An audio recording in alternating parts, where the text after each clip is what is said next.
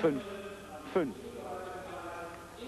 Und nun Ekaterina Sabu am Schwebebalken, an jenem Gerät, an dem sie auch eine Goldmedaille gewonnen hatte in Los Angeles.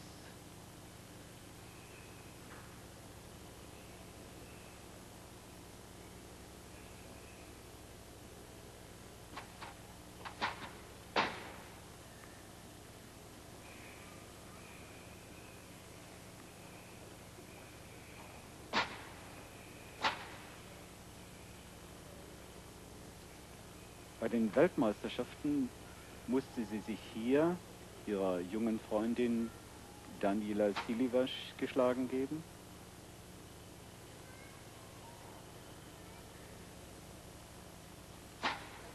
Kati ist äh, nun schon sechs, sieben Jahre im internationalen Kunstturnen bekannt.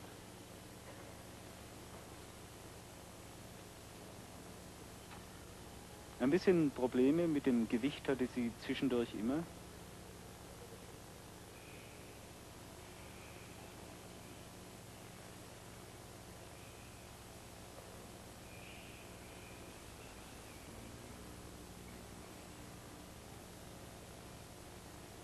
Ein bisschen lang die Phase der Konzentration vor dem Abgang.